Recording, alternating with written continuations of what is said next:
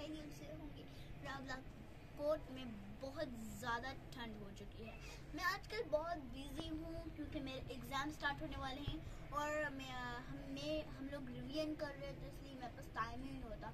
मैं व्लॉग कब अपलोड करूँगी आज मैं आपको देसी अंगीठी के बारे में बता रही हूँ। आप ये देख सकते हैं, ये छोटी सी अंगीठी है। ये मेरे घर के साथ कुछ नेबर्स रहते हैं।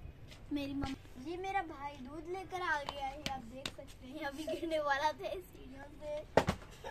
अब इसने देखिए गिरा दिया है। अभी खुद भी गिर गया है।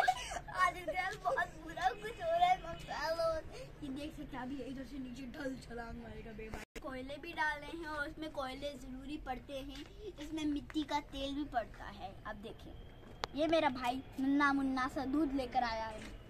चिकन ये देखिए ये कोयले इतनी ज़्यादा जल चुके हैं। ये ऐसी अंगीठी होती है ना कि ये जैसे इसके ऊपर थोड़े से कोयले रखो तो ये अंदर से टूट जाती है। पता नहीं है कैसी अंगीठी है ये। देखिए आज इतनी ज़्यादा ठंड है कि बाहर बैठा नहीं जा रहा। दिल जा रहा है, अंदर जाऊँ और अपनी गर्मा गर्म अंगीठी के पास बैठ जाऊँ। बाहर बहुत ज़्यादा ठंड है। अब ये देखिए मेरा छोटू सा मुन्नू सा गंदा सा भाई जो मुझे रोज मारता रहता है, ये आ गया है। तो इसको बहुत ज़्यादा हँसी आ रही है, पता नहीं क्यों।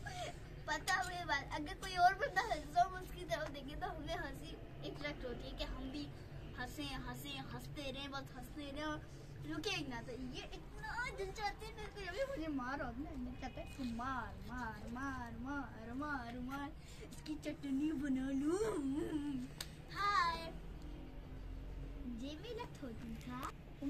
कि आपको हमारी वीडियो पसंद आएगी।